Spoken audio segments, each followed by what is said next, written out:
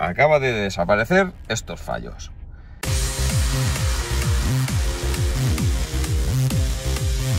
Muy buenas amigos y amigas del YouTube. Hoy tenemos aquí un Dacia que nos aparecen estos errores. Ahora veréis cuando arranquemos el vehículo.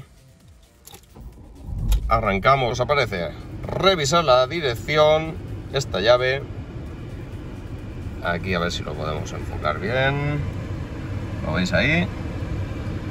Es el ESC.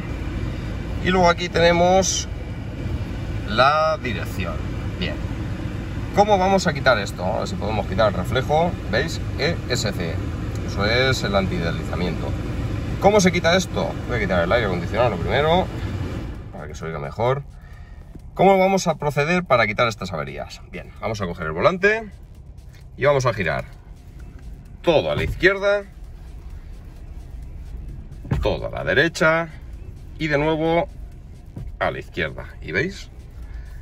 acaba de desaparecer estos fallos. Así de sencillo y de fácil es quitar en nuestro Dacia, Renault, algunos modelos de Nissan y la mayoría de este grupo de vehículos. Así que amigo y amiga, si te ha servido de ayuda no has tenido que pasar por taller, dale a like, recuerda suscribirte si no estás suscrito, activa la campanita de notificaciones y nos vemos próximamente. Adiós.